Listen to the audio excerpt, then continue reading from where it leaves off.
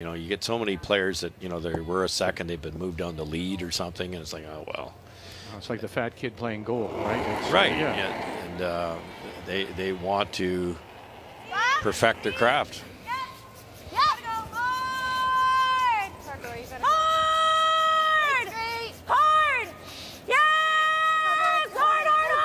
Look at that. Laura hasn't lifted her head.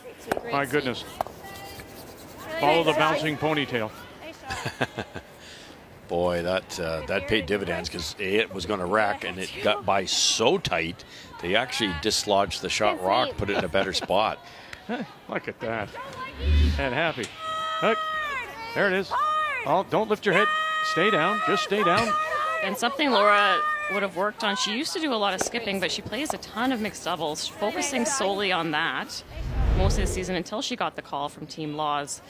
She's not the biggest in stature, so you see that she focuses on having a very high brush stroke rate. Having that quick speed creates a lot of heat on the ice, and it's very effective at holding line. Yeah, we, she mentioned that, uh, Kathy. She said, what, five foot two? She said I'm five foot two, so I fit in for the size. I said, "You fit the team. She says, yeah, I'm short like all the others. That's right.